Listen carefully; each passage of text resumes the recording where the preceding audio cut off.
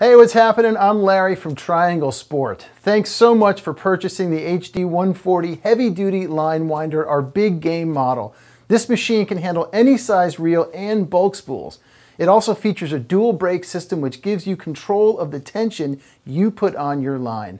Let's say hi to Bob, our in-house tech expert and avid angler, who will now demo the setup and special functions of the HD 140.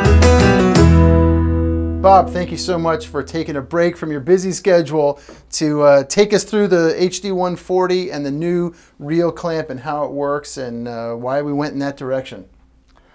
All right, well this is, uh, it's, it's made to hold the reels on, in place better and uh, has some safety features as well.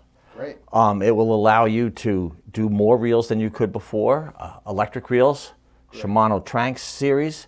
Daiwa has a new low profile saltwater series.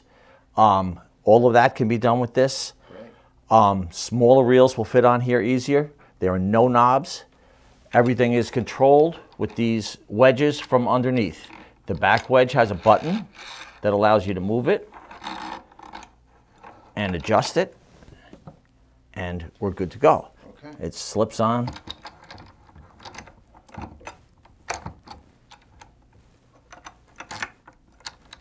Slide that back clamp forward, and a few twists of the knob,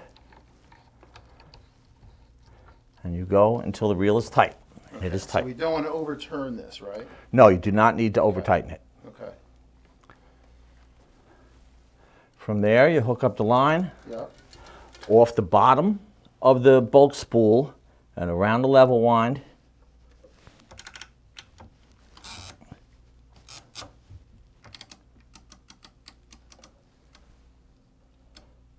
And how much tension would you say you should have on the line when you do this?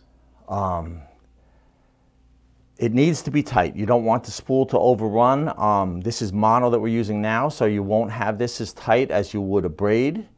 Um, braid, you can put it as tight as you feel is necessary. Um, people, uh, that varies on the braid that you're using and the species you're fishing for. So this looks like we're all set to go. All right. Lines reeled up. And the reel is lined up with this yeah, you want to center the L bar into the center of the reel handle. Okay.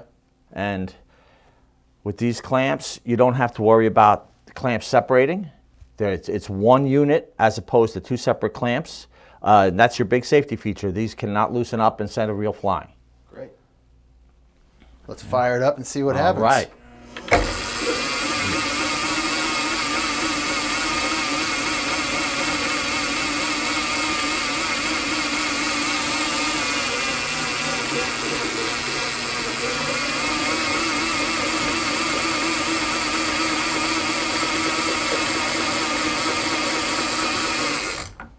That'll do it. You see, no movement on the reel whatsoever. That is amazing. That holds that completely in place. And I love the fact that you can use some different reels on this that we weren't able to use before. Yeah, it's going to make a big difference for shops all over. That's great. Bob, thank you so much for taking time out of your day. I appreciate it. Thanks.